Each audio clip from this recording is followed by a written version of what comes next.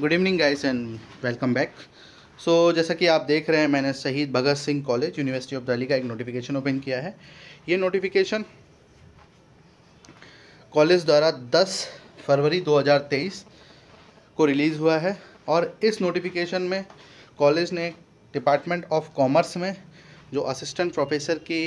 Interview होने उससे related information दी है। ऑलरेडी मैं अभी प्रीवियस वीडियो अपलोड कर चुका हूँ,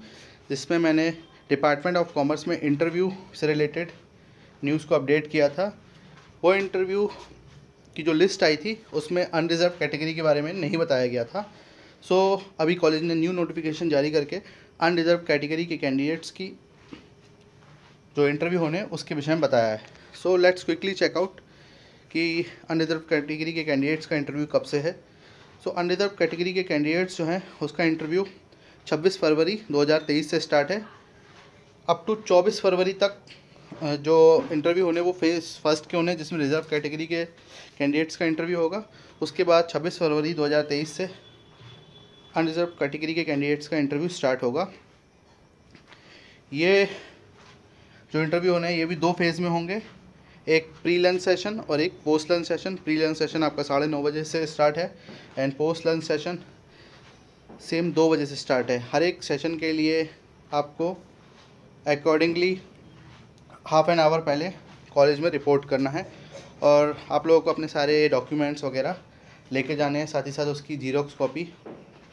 भी अपने पास हमेशा रखी, एक सेट अपने पास ज़रूर रखा होना चाहिए, ताकि कभी भी ज़रूरत पड़े तो you can show that so और अगर आपको जानकारी चाहिए तो you can see my previous video on Shaheed Bhagat Singh college and if you have any डा sorry if you have any doubts queries regarding assistant professor interview so you can ask in the comment box so i will try to answer those questions as much as i can further please share this video so अभी तक जो students हैं जिनके unreserved category के students हैं उनको ये doubt था कि उनके इंटरव्यू कब होंगे क्योंकि ऑलरेडी नोटिफिकेशन आ चुका था कॉलेज की तरफ़ से तो ये न्यू नोटिफिकेशन के थ्रू वो जान पाएँगे कि उनके इंटरव्यू किस डेट में है और किस सेशन में है so please like this video subscribe my channel and press the bell icon so you will not going to miss a single video which I am going to upload in the future. Thank you